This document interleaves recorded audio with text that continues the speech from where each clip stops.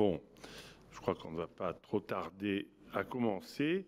Euh, nous avons quasiment 700 inscrits, 700 badges ont été euh, distribués, mais le temps euh, à Biarritz, qui visiblement est la ville la plus chaude de France aujourd'hui, a peut-être exercé quelques concurrences sur cette séance très importante séance d'inauguration. Donc, euh, bienvenue à tout le monde. Euh, traditionnellement, euh, on accueille nos amis étrangers. welcome everybody. muy bienvenidos a todos los hispanoparlantes. Et ongi etorri miaritzera euskal herrian pour les bascophones. donc, on va inaugurer cette euh, nouvelle session du colloque ATHS.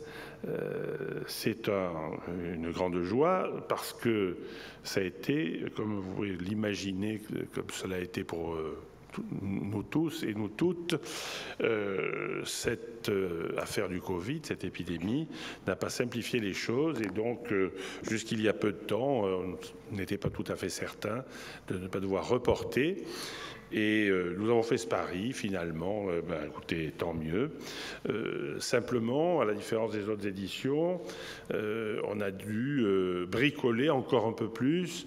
Nous avions traditionnellement, avant chaque édition de THS, des colloques scientifiques, des comités scientifiques qui se réunissaient deux, trois, quatre fois avant le colloque à Paris, généralement. Et euh, donc là, euh, ça n'a pas pu avoir lieu. Et euh, c'est par mail, par coup de fil, visio, que nous avons tenté de, de suppléer à ces difficultés. Tant il est vrai que les, ATHS sont très. la constitution du programme et euh, il se bâtit de façon très coopérative. Et cette fois-ci, ça a été donc un petit peu plus compliqué de pouvoir coopérer. On a fait donc par les moyens euh, électroniques qui maintenant deviennent euh, assez fréquemment utilisés. Simplement, on se disait que, à la rigueur, nous ferions, comme ça va être le cas aujourd'hui, très partiellement des visioconférences euh, ça va être le cas pour nos amis américains qui dépendent des agences fédérales et du gouvernement fédéral, les universitaires, les euh, agents du, du NIDA, Institute on Drug Abuse, qui eux n'ont pas l'autorisation de se rendre en France pour des raisons d'épidémie de Covid, de terrorisme et de civil unrest. Donc, euh, à tous ces motifs, ben, ils n'ont pas pu venir et plusieurs d'entre eux interviendront euh, par euh, donc visioconférence. Donc, euh, je pense que demain, on sera très nombreux pour la conférence scientifique, pour le début donc de, des sessions scientifiques, et on va pardonner tous ceux qui ont été tentés d'aller profiter de ce temps tout à fait exceptionnel. Voilà, donc euh, avant de présenter cette nouvelle édition de la THS, euh, je veux quand même évoquer avec vous deux personnalités, deux amis qui nous ont quittés depuis le dernier ATHS. Tout d'abord, le professeur Michel Reynaud, qui nous a quittés le 27 juin 2020. Et euh, Michel, dès le premier colloque 2017, 2007, ici à Biarritz, euh, a été un acteur fidèle, assidu de notre congrès. Euh, nous ne pouvons que dire combien il aura œuvré dans le monde de la dictologie, tant au niveau de la recherche que de son enseignement en France. Il a beaucoup euh, milité, œuvré, organisé la reconnaissance et l'organisation de l'enseignement de la dictologie. Et donc, on veut lui dire que on n'oublie pas tous ces bons moments passés ensemble et que euh, on lui dit un grand merci Michel et bien sûr nous ne t'oublierons pas. Voilà, je, veux, bien sûr aussi évoquer une autre disparition qui nous a aussi beaucoup affecté. En effet, euh, euh, Mary Jean Creek de New York, nous a quittés le 27 mars 2021. Depuis ses travaux pionniers sur la méthadone dans les années 60, tous ceux, beaucoup d'entre vous ici l'ont connu, rencontré, retrouvé, ont pu apprécier son extraordinaire énergie et jusqu'à son dernier souffle, elle n'aura pas cessé son investissement, son travail, tant dans la recherche des, addictions, qu'elle a fait énormément progresser, euh, et dont elle a contribué un petit peu à la fondation en, revisitant la compréhension des addictions avec euh, l'équipe de, Vincent Doll et Nice Vander, euh, et ensuite en poursuivant dans son laboratoire de Rockefeller euh, un extraordinaire travail de, recherche.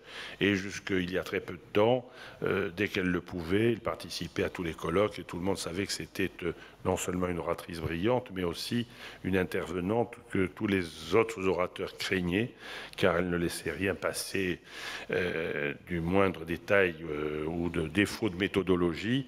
Elle savait rappeler avec beaucoup d'attention ce qui a été. Mais je veux aussi souligner qu'elle a été toujours une très ardente euh, euh, défendresse, si j'ose dire, euh, des, des, droits, des droits aux soins, à l'accès aux soins, mais aussi à la dignité des patients, des usagers de drogue. cela lui tenait beaucoup à cœur et il a donc aussi toujours voulu appliquer que les politiques euh, euh, de santé, dans son pays en particulier, elle aurait souhaité que, autant que possible, qu'elle soit evidence-based. Et euh, elle nous rappelait qu'elle avait réussi à convaincre le maire Giuliani un certain nombre de choses. Et elle rappelait que ça avait été difficile, que c'était coriace, mais elle avait réussi. Et donc, plus personnellement, n'oublierons jamais son investissement dans notre colloque, dans le colloque THS, devenu ATHS, et ce depuis 93 à Saint-Tropez. Voilà, personnellement, je me souviens avec euh, une certaine émotion d'une session de THS dans le sud-est, dans laquelle je, présentais une communication. Et j'étais très impressionné d'avoir au premier rang de l'auditoire, donc Mary Jean, euh, qui entourait Vincent Doll, qui était âgé, mais qui était encore tout à fait alerte, et notre ami aussi euh, euh, Robert dit Bob Newman. Et tous sont désormais, hélas, disparus. Donc depuis l'installation à Biarritz du colloque, avec son, son époux, le regretté Bob Schaeffer, et malgré des problèmes orthopédiques qui euh, requéraient les personnels euh, des aéroports, enfin, n'hésitez pas à convoquer euh, des moyens de transport adéquats, mais ces moyens orthopédiques qui compliquaient ses déplacements, elle venait quand même régulièrement. Et euh, souvent, avant les, la dernière fois qu'elle est venue encore, elle me disait Tu ne m'as pas encore appelé, mais enfin, elle était habituée à ce que ça ne soit pas très. Euh, pas très, s'y prenait pas tellement à l'avance. Je ne sais pas si je suis invité, mais en tout cas, je te dis Je viens. Donc, euh, il faut compter sur moi et avec moi. Et donc, euh, voilà. Euh, pour évoquer sa mémoire, je, vais vous proposer une petite vidéo que nous avons réalisée, euh, des rapides, cette vidéo pour le souvenir et aussi pour un recueillement. C'est mieux qu'une minute de silence. Je pense qu'elle aurait bien aimé cela.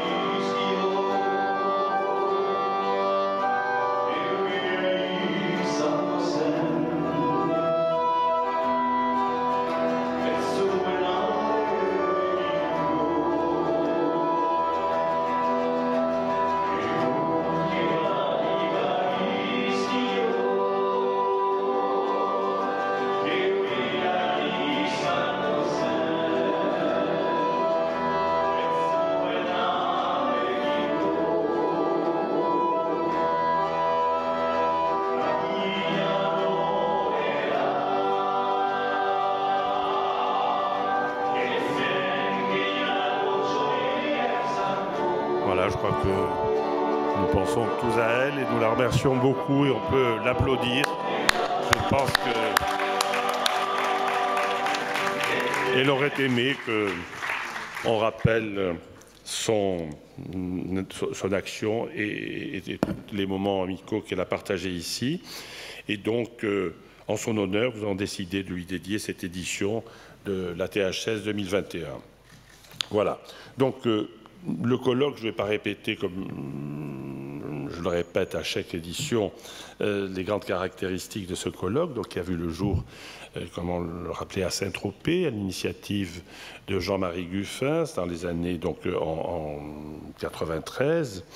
Et euh, ce colloque avait vu le jour en réunissant des intervenants euh, du monde du soin, ce qu'on appelait le, soin toxicomane, euh, des hépatites, du VIH bien sûr, parce que donc, comme vous vous en souvenez, cette époque était marquée par une très grande morbidité, mortalité donc du VIH parmi les, les usagers de drogue, et donc euh, s'était réunie dès ce moment-là euh, une cohorte qui euh, donc tentait de faire évoluer le système de soins, en particulier aussi d'introduire des principes de réduction des risques et avec aussi bien sûr l'introduction des traitements de substitution, de la méthadone en particulier. Ceux qui étaient de ce combat-là se souviennent que ça n'a pas été simple, ça a été une véritable guerre, mais bon, qui a été finalement victorieuse. Et donc très tôt s'étaient retrouvés, euh, bien sûr, euh, euh, des, gens du monde de la psychiatrie, Jean Tignol, j'en évoque sa, mémoire et beaucoup d'émotions, Jean-Jacques Desglon, qui est toujours avec nous, et c'est un grand bonheur qu'il soit là. Lui aussi était un pionnier avec, en développant les premiers programmes de méthadone en Europe, en Suisse, dans la Fondation Phoenix, qu'il avait fondée. Marc Auriacon là, Bernard Roch, qui va nous rejoindre tout à l'heure, qui, euh, arrive, Christian Trépeau aussi nous rejoint. Bref, euh, je ne citerai pas tout le monde, mais toute cette cohorte donc, euh, a maintenant la, joie et le plaisir de pouvoir se retrouver encore et de faire avancer les choses. Ce que l'on répète quand même, c'est que la, la, marque de, et la volonté de ces meetings, de ces réunions, est euh, d'allier euh, deux valeurs euh, très importantes. C'est d'une part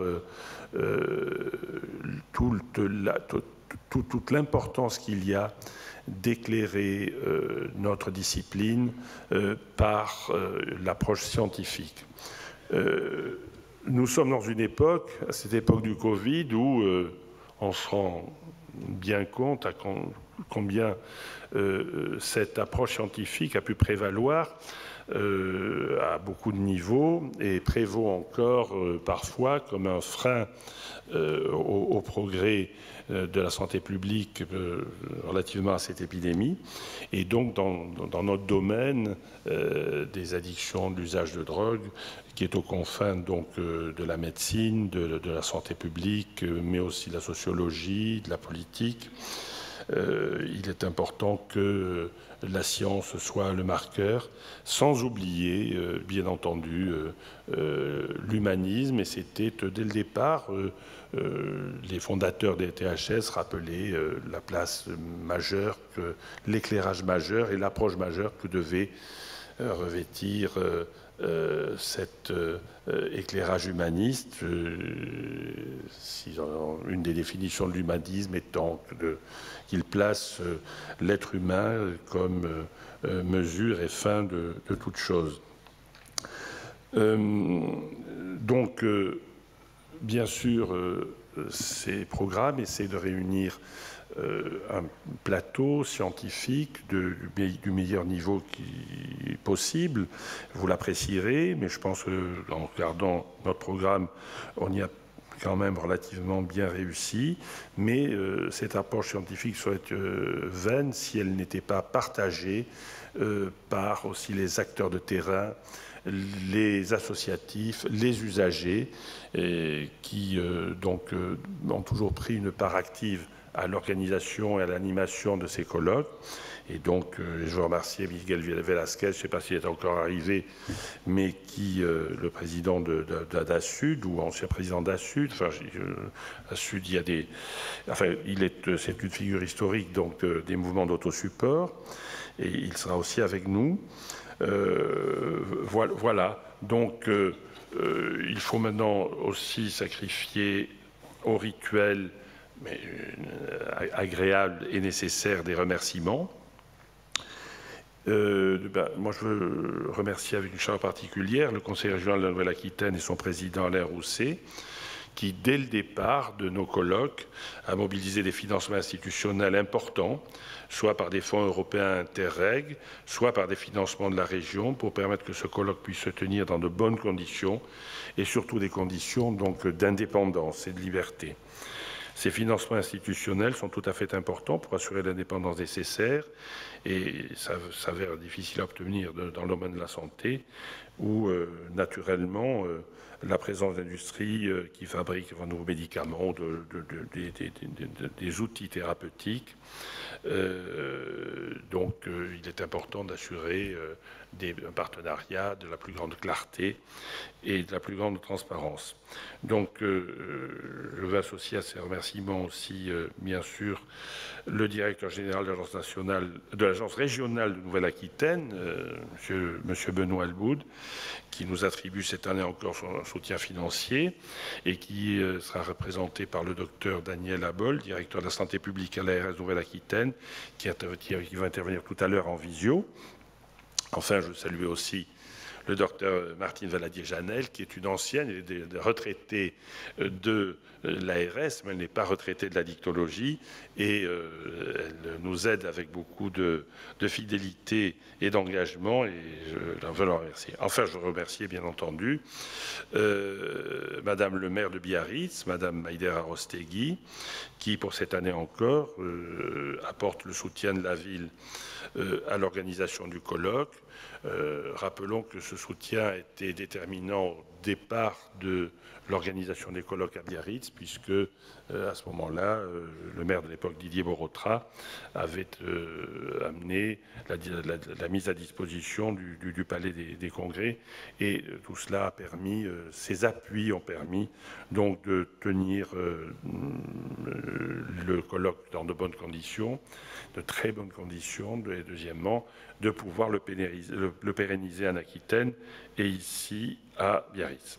Donc je remercie aussi euh, la communauté Pays Basque, euh, son président euh, M. Tchegaray, ainsi que tout particulièrement son vice-président Arnaud Fontaine, pour leur soutien au colloque et l'accueil qu'ils nous ont réservé. enfin, toujours aussi des remerciements au NAIDA, le National Institute Drug Abuse, qui, à travers sa directrice Dora Volkov, soutient l'organisation de notre colloque depuis le début. Enfin, nous remercions aussi euh, M. Olivier Véran, ministre de la Santé, qui euh, nous a donné son, patronage, euh, son soutien. Euh, la Mildeka, son président Nicolas Pris, qui nous a donné son patronage aussi, et nous adresse un message dont vous donnerez lecture tout à l'heure. Voilà. bien sûr, je veux remercier nos, partenaires de l'industrie pharmaceutique et de l'industrie euh, euh, qui, du, domaine sanitaire. Il n'y a pas que des médicaments, il y a aussi des appareils, des fibroscans, des chaînes experts, etc. ces partenaires avec qui nous avons pu bâtir au fil des colloques un partenariat particulièrement positif dans la mesure où il est transparent, interactif. Voilà, peut-être parfois, euh, s'il existe quelques conflits d'intérêts, ils ne sont pas d'ordre financier, mais euh, euh, d'ordre affectif, puisque avec beaucoup de ces partenaires d'industrie pharmaceutique, des liens d'amitié se sont établis et, ce sont aussi des amis qui nous rejoignent autant que des partenaires du colloque. Voilà, juste pour finir euh, rappeler que ce colloque est, si j'ose dire, fait maison. Nous n'avons pas recours à une agence d'organisation de, communication. Et c'est donc toute l'équipe de BCA qui, autour de Arcaï, Cécilia, Virginie, de Marcel Régnier, qui est toujours dans, l'ombre, mais qui euh, tient les, cordons de la bourse et qui euh, permet, par euh, une gestion à la fois prévoyante, rigoureuse et efficace, d'avoir une marge de manœuvre tout à fait cruciale pour la réalisation des, colloques. Et donc toute l'équipe de, BCA euh, autour de nous, donc euh, s'impliquent avec euh, beaucoup d'enthousiasme, de, dévouement et prennent en charge les aspects les, plus triviaux concernant les, les, besoins matériels et des placements, la restauration et puis bien sûr aussi l'organisation scientifique. Donc c'est donc euh, toute une équipe soudée qui s'investit et cela conforte sa cohésion, euh, même s'il peut y avoir un défaut de professionnalisme, puisque nous sommes des professionnels de la santé et du médico-social, et non pas de l'organisation d'événements, mais donc sommes sûrs que vous saurez nous pardonner ces imperfections euh, qui euh, permettent par ailleurs euh, d'améliorer ou de mettre en tout cas plus nos, faire porter nos efforts autant que possible sur la qualité de l'accueil. Voilà pour ce qui me concerne. Je vous souhaite donc un très bon congrès. Et je sais que ceux qui m'entourent éprouvent la même émotion de vivre un moment important pour faire avancer les idées mais aussi, euh, je le disais, euh, pour partager ce moment euh, d'amitié, de fraternité et même d'affection. Voilà. Je vous remercie. je vais donner donc maintenant la parole au professeur Marc-Auria Combe, qui est co-référent du comité scientifique, avec Rémi Benyamina qui nous rejoindra bientôt. Je dis quelques mots, Marc Oui. Voilà, juste quelques mots rapidement. Donc, euh, en mon nom et au nom de Amine Benyaminat, donc nous avons présidé le conseil scientifique euh, d'ATHS. Alors, c'est un gros travail pour plusieurs raisons. Un, c'est parce que euh, on reçoit énormément de propositions. L'avantage, c'est que ça nous permet de trier et de faire, cette année encore, un programme extrêmement riche, extrêmement diversifié, donc c'est grâce à, votre participation et vos propositions qu'on peut faire euh, ce programme de qualité. L'autre élément très important, c'est que ce gros travail, on est très aidé par euh, Jean-Pierre Deloued, mais toute l'équipe, Jean-Pierre l'a dit, mais j'insiste beaucoup sur le fait que ATHS, enfin, THS euh, était personnalisé par Jean-Marie Gruffins, ATHS a émergé avec Jean-Pierre Deloued, mais derrière Jean-Pierre Deloued, il y a toute une équipe toute l'équipe de BCA, dont une partie est sur la scène, avec lequel vous allez interagir, hein, notamment Arcaï Zaraguerre et Colina, euh, Virginie Beltran et Cécilia Maître, et puis tous les autres. Et c'est ça qui fait que, du coup, mon travail, le travail d'Amine, est en fait extrêmement euh, facile. Et on en profite. Bravo et profitez de la semaine. Très bien.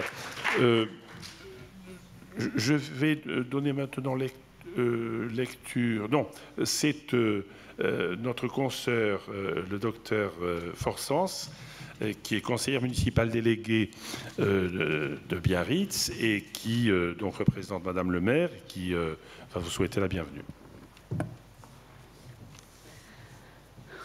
Mesdames, Messieurs, mes chers confrères, je vous prie de bien vouloir excuser Madame Maider et Arostegui, maire de Biarritz, que je représente devant vous aujourd'hui.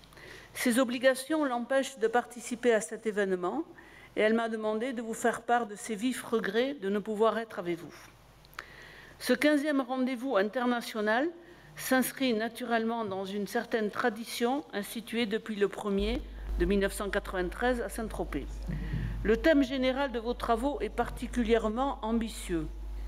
Il consiste à examiner l'impact de la pandémie liée au Covid. Chacun d'entre nous a pu mesurer dans son quotidien les évolutions comportementales de ces périodes de confinement, de déconfinement, puis de reconfinement, etc., sur nos concitoyens. Il va sans dire que ce contexte atypique a évidemment touché les plus faibles.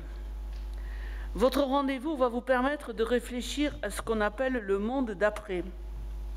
Il s'agira donc que vous puissiez proposer aux autorités publiques de nouveaux modes opératoires nés de l'expérience de ces mois passés. Permettez-moi pour conclure de vous féliciter pour la richesse des ateliers que vous proposez au cours de cette édition. Je ne doute pas que vos travaux puissent être utiles à la communauté scientifique et par voie de conséquence à nos concitoyens. Je vous remercie.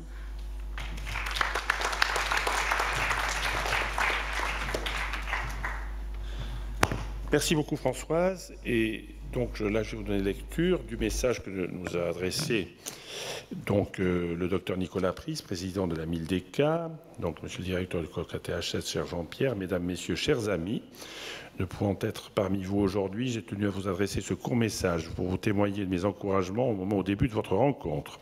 Ce colloque international qui se tient au cœur d'un territoire magnifique est désormais inscrit de manière pérenne dans le paysage de la dictologie française et des spécialités qui viennent en aide à ceux qui souffrent de dépendance et de pathologies connexes. La diversité des interventions et la variété des thématiques abordées cette année encore euh, permettront d'offrir un vaste panorama des problématiques auxquelles nous sommes confrontés. Elles vont nous éclairer, nous permettre de mieux comprendre, d'agir avec efficacité et surtout de proposer aux, usagers de nouvelles solutions, de nouveaux traitements et de nouveaux espoirs. En favorisant et en stimulant cette réflexion collective, ATHS nous donnera une fois encore des clés pour améliorer les prises en charge ou inspirer de futures recherches, sans, banalisation ni dramatisation des consommations et sans stigmatisation des consommateurs. Je vous souhaite un excellent colloque. Nicolas Pris. Et, maintenant, on va donner donc euh, la parole au docteur Daniel Abold, directeur de la santé publique, alors qu'il doit intervenir par visioconférence il va, si j'ose dire, essuyer les plâtres, puisqu'il est le premier, euh, à l'occasion de ce colloque, à intervenir en visioconférence. Alors, ah ben le voilà. Merci beaucoup d'être là. Et donc, euh, vous avez la parole. Alors, je, vais en effet essuyer les plâtres. Euh. Ah. ça avait bien oh. commencé, mais là, on ne s'entend plus. J'espère que là, vous allez m'entendre. Les micros sont branchés de mon côté. Donc c'est bon, là c'est bon. Parfait. Mais écoutez, tant qu'à essuyer les plats, autant qu'un médecin euh, sache le faire aussi, c'est important.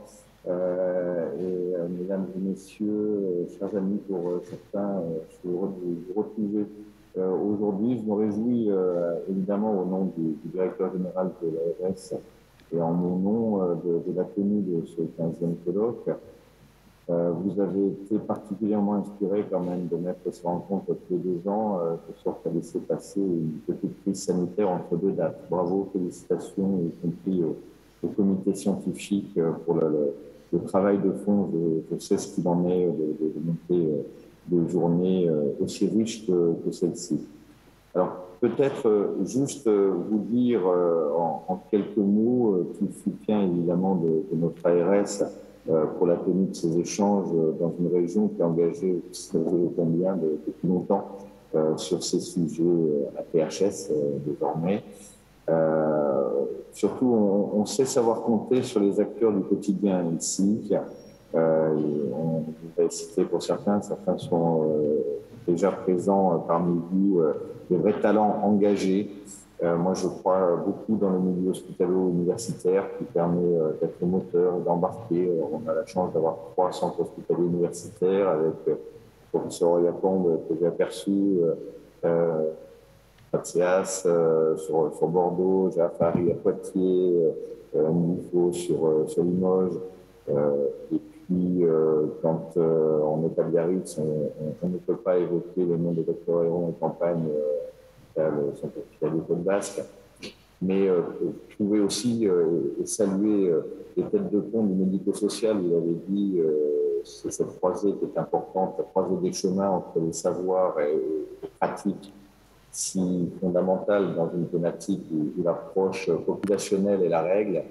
Euh, et en la personne du docteur Delis, de CID et de, de vous-même, cher Jean-Pierre, cet engagement de, de talent ça nous, permet sur la région euh, d'être euh, capable aussi, et l'honneur vous revient, euh, d'organiser des journées comme, comme celle-ci. et ça ne serait pas grand-chose si ces journées s'arrêtaient à, trois jours de, de rencontre. C'est surtout grâce, à, grâce à vous, grâce à vous tous, que l'armée d'acteurs de terrain se met en marche. Je vais parler de, de combat à plusieurs reprises. Euh, ce combat, on le mène, on doit le mener euh, pendant encore euh, longtemps. Et cette, cette, capacité que nous avons à, à apprendre en permanence de la science et, de nos usages sur le terrain fait que nous pouvons avancer au bénéfice de, et des personnes qui sont dans, le cadre du, sujet de la PHS.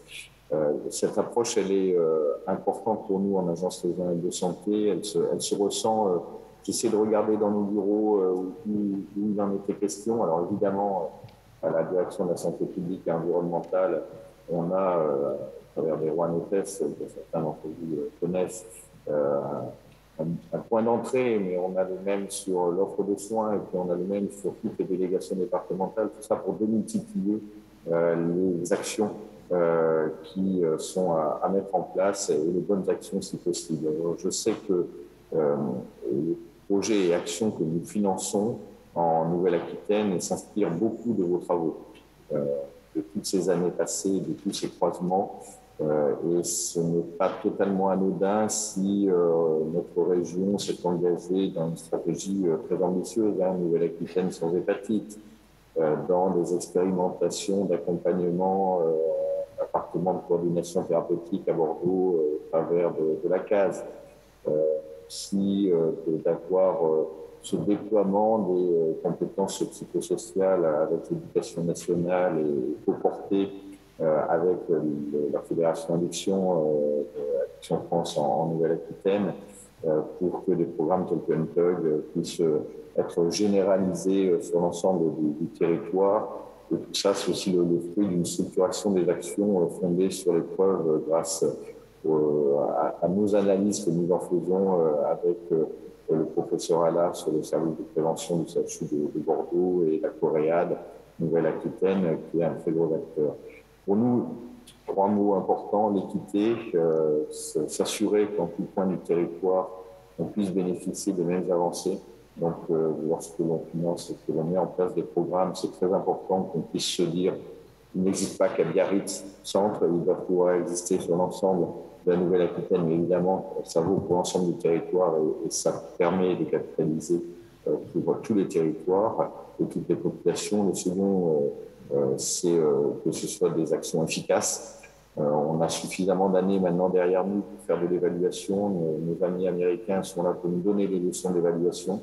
nous avons encore des progrès à faire, mais nous savons les actions qui sont efficaces et celles qui vaut le coup de, déployer. Et puis, peut-être aussi en, en, ces temps, la nécessité d'être performant, c'est-à-dire d'avoir de l'impact. Euh, on sait qu'un certain nombre d'actions euh, sont efficaces, peuvent être équitables, mais il faut que ça nous permette de changer un certain nombre de choses. Donc, euh, moi, moi, personnellement, je, je, je crible à travers ça. Je crois que je, suis personnellement mon bureau. On, a des tampons avec équité, euh, impact et efficacité, pour tout vous dire, euh, pour valider ou pas les, les, dossiers, parce que c'est un prisme qui nous est important de, de voir. N'oublie pas non plus que la crise a modifié nos, environnements et comportements, en, bien et en mal. Donc, euh, moi, j'aime bien voir le, côté plein. Donc, euh, puisqu'on est à Biarritz, euh, je proposerais bien de surfer et de capitaliser sur tous les points forts parce que le rétexte, ça va être abordé aussi dans les thématiques de, la crise, nous permet d'identifier des, choses qui ont marché et qui doivent pouvoir continuer. Et puis, il faut évidemment continuer à trouver des solutions pour toutes euh, nos problématiques. Alors chacune de vos plénières et chacun de vos ateliers contribue euh, à la fois euh, à nos savoirs, nos savoir-faire, ces fameux croisements. Moi, je peux vous dire que je regrette vraiment de ne pas être parmi vous. Je, vais essayer de me connecter à une ou deux des, sessions à, distance parce que le programme tellement riche et tellement fort que je m'engage à, faire savoir les résultats de vos travaux pour que euh, la mise en œuvre et le financement des actions puissent s'inspirer encore une fois de tout ce que vous faites. Un grand bravo par avance. vous souhaite de très belles journées, pas que météorologiques, très scientifiques, comme, vous le faites de manière très professionnelle. Jean-Pierre, merci beaucoup et à vous tous. je, pense que le, temps est venu de, travailler encore et toujours sur ce sujet. Merci beaucoup. Merci, monsieur le, directeur. Et, merci du, courage d'avoir essuyé les plâtres, mais finalement avec, avec succès. Merci beaucoup. Donc, euh, ben, cette séance inaugurale euh, est euh, désormais terminée. Et donc, on va laisser la place tranquillement, tout en restant dans les temps, au débat de société qui va suivre donc dans dix minutes.